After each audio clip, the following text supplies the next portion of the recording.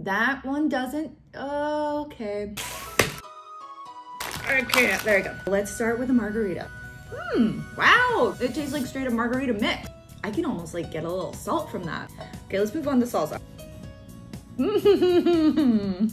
it does taste like salsa, kind of like a garlicky salsa, and it has a little spice to it. Horchata.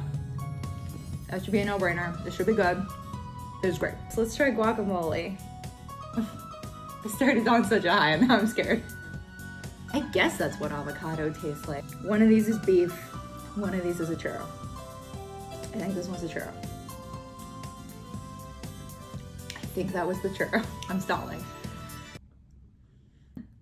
Uh, yep, that's a beef taco. Oh, it's really lingers with you. They've also somehow gotten that sensation of grease. Interesting. Let's go with a 6.5. I'll give them the benefit of the doubt. Good job, Brach's.